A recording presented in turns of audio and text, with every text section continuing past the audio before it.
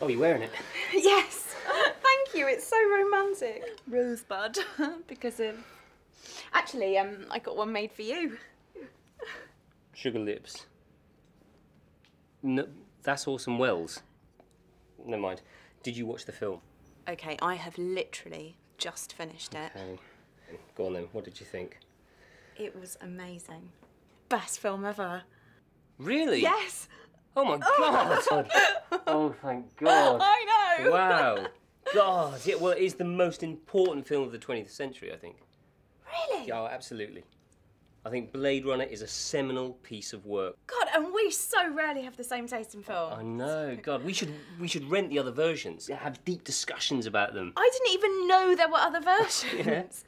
To be honest with you, I am quite relieved. I mean, after you didn't like Honey, I Shrunk the Kids. Well, and you didn't like Twelve Monkeys. it was just a really misleading film title.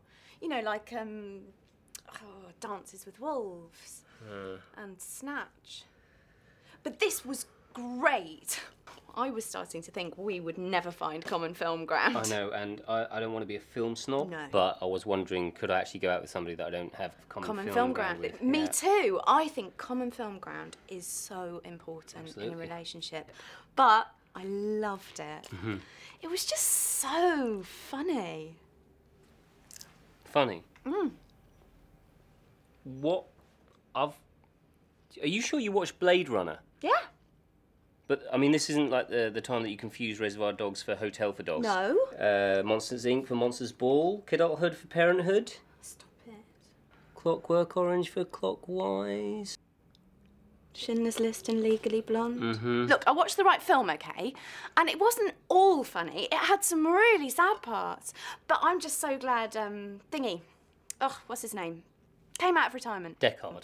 You know, the main guy that, that sort of led them to victory. Yeah, Deckard, and uh, it's only actually Victory depending on what version you watch. Oh, right, yeah. Anyway, the really sad part was when they weren't treated as equals. It was awful. Yeah, but that's that's the whole debate, isn't it? They're a threat to society. Sorry, you just sound you just sounded a little bit racist. No, but I mean, well, okay, yes, all right, they are a kind of a race, but they're not equals, are they? How how can you even say that? That is staggeringly xenophobic. What? I, are you sure that you watched Blade Runner? Yes! Blade Runner, yeah? Yes. Okay, let's watch it again. I'll, I'll show you what I mean. Fine.